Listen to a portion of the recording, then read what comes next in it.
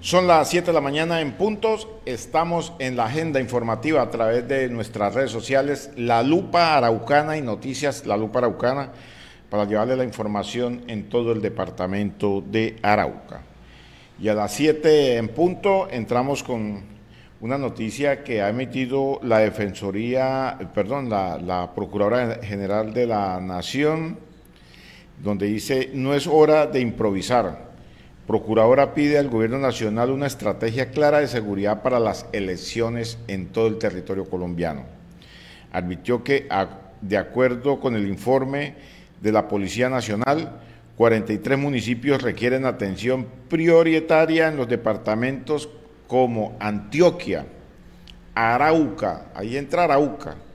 Caquetá, Cauca, Córdoba, Huila, Meta, Nariño, Norte de Santander y Valle del Cauca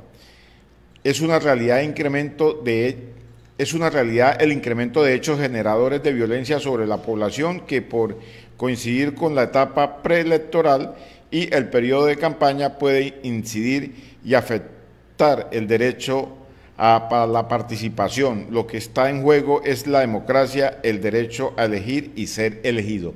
Esta es la misiva que envía la Procuradora General de la Nación al Gobierno Nacional y que hay varios departamentos en riesgo y que también habla de Arauca, el departamento de Arauca que también está en riesgo electoral y que deben de incrementar más el pie de fuerza con el fin de garantizar la seguridad durante este proceso electoral. Margarita Cabello, Procuradora General de la Nación.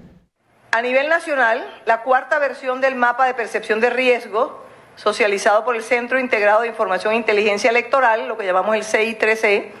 de la Policía Nacional ha expuesto que hay 43 municipios que requieren atención prioritaria. Departamento de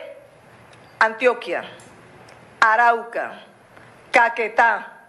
Cauca, Córdoba, Huila, Meta, Nariño, Norte de Santander y Valle del Cauca son los más graves. Estamos en la recta final de la etapa electoral y quiero reiterar el llamado a toda la institucionalidad, a los partidos, a los candidatos y a las candidatas, a las campañas a respetar y hacer respetar las reglas, porque cada ciudadano y cada ciudadana nos importa, porque todos los territorios nos importan y porque tenemos que dejar un mensaje claro e inequívoco de velar por la seguridad,